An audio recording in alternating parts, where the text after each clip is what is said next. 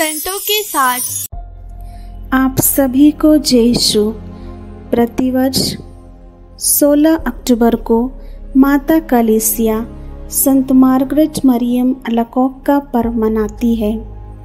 यीशु के पवित्रतम हृदय की प्रिय शिष्या, संत मार्गरेट मरियम अलकोक का जन्म फ्रांस देश के बरगंडी प्रांत के टीरो ग्राम में 22 जुलाई 1647 ईस्वी में हुआ। उनके पिता का नाम क्लाउड अलकोक था। माता का नाम फिलेबे था। क्लाउड न्यायालय में मजिस्ट्रेट थी। दोनों दंपति बहुत ही आदर्श एवं उत्तम कैथलिक थे। मार्गरेट उनकी इकलौती बेटी थी और पाँच बच्चों में तीसरी थी। मार्गरेट का बचपन बड़े ही आनंद पूर्वक बीता। किंतु जब वह आठ वर्ष की हुई, तब उनके पिता का देहांत हो गया। इससे उनके कोमल हृदय को बड़ा आघात हुआ।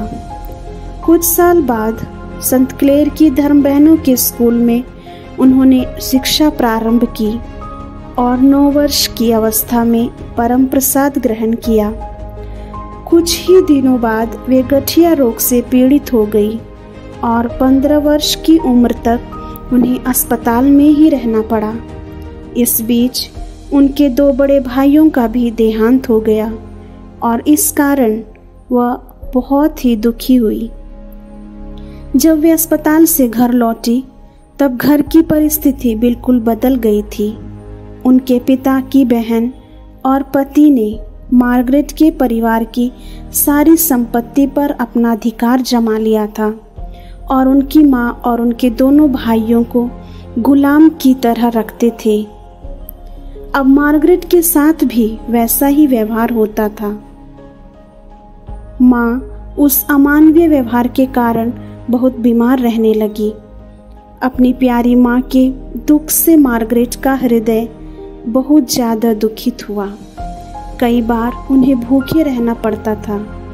किंतु मार्गरेट ने उन सभी कष्टों को यीशु के प्रेम से धैर्यपूर्वक सहन किया और कभी शिकायत नहीं की। अपनी प्यारी माँ की सेवा और सहायता करते हुए जब कभी संभव हो, वह एकांत में प्रभु यीशु से प्रार्थना करने में अपना समय बिताती थी। प्रभु से प्रेरणा पाकर उन्होंने अपना जीवन प्रभु के लिए समर्पित करने का निश्चय किया और पूर्ण रूप से अपने आप को प्रभु के हाथों में समर्पित करना चाहती थी। एक बार प्रभु यीशु ने उनसे कहा, स्वेच्छापूर्ण तपस्याओं और प्राश्चितों से लदे जाने की अपेक्षा आज्ञा पालन के अनुसार वह छोटी छोटी सुख सुविधा ग्रहण करे तो मुझे प्रसन्नता होगी।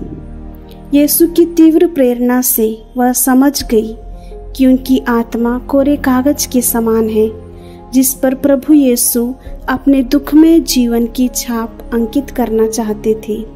अर्थात यीशु का जीवन जो उन्होंने पूर्ण रूप से निर्धनता, एकाकीपन नीरवता, आत्मत्याग एवं अटूट प्रेम में बिताया था। दूसरे ही वर्ष सुसमाचारी परामर्शों के व्रत धारण कर वह धर्म बहन बन गई। सन 1675 में प्रभु यीशु से अपने इस प्रिय शिष्य को दर्शन देकर अपने पवित्रतम हृदय के प्रेम के रहस्य प्रकट किए। प्रभु यीशु ने मरियम अलकोक से कहा, मेरा हृदय मनुष्यों के प्रति प्रेम से इस प्रकार धधक रहा है कि वह अपने प्रेम की ज्वालाएँ अंदर दबाए नहीं रख सकता। इसलिए यह आवश्यक हो गया है कि वह तुम्हारे द्वारा मनुष्यों के बीच इस ज्वाला का प्रसार करके स्वयं को उस पर प्रकट करे, जिससे वे भी इस हृदय की अमूल्य निधियों को संपन्न हो। और जो मैं तुम पर प्रकट करता हूँ, क्योंकि इसमें पवित्रता और मुक्ति की अनमोल कृपाएँ विद्यमान हैं। इसके बाद प्रभु ने मार्गरेट के हृदय से लेकर अपने पवित्रतम हृदय में रख लिया।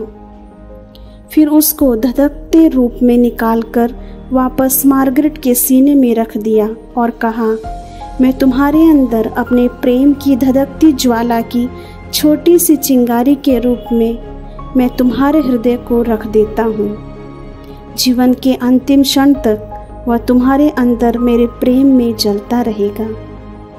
तुमने अब तक मेरी दासी का नाम धारण किया। आज से मैं तुम्हें अपने पवित्रतम हृदय की प्रिय शिष्य का नाम देता हूँ।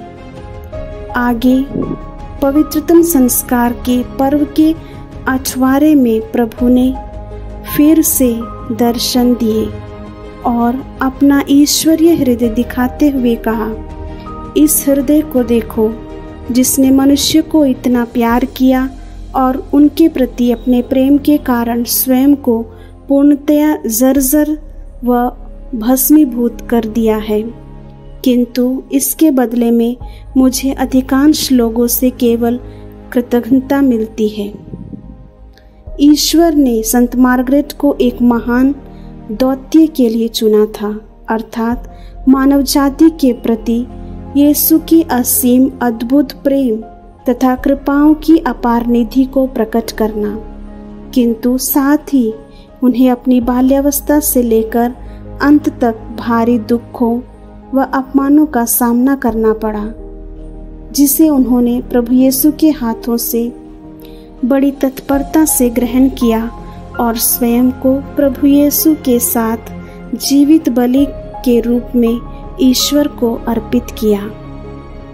संत मार्गरेट ने कहा, मैं एक जीवित मोमबत्ती की तरह निरंतर ईश्वरीय प्रेम से जलते रहना चाहती हूँ। ताकि प्रभु यीशु को उनके अपार प्रेम के बदले में प्रेम दे सकूँ। 17 अक्टूबर 1990 में संत मार्गरेट का देहांत हुआ। 1920 में उन्हें संत घोषित किया गया। यीशु के पवित्रतम हृदय की भक्ति के साथ साथ उनकी प्रिय शिष्य का नाम भी कलिसिया में प्रचलित हो गया। 16 अक्टूबर को माता कलीसिया बड़े ही हर्षोल्लास के साथ इस महान संत का पर्व मनाती है।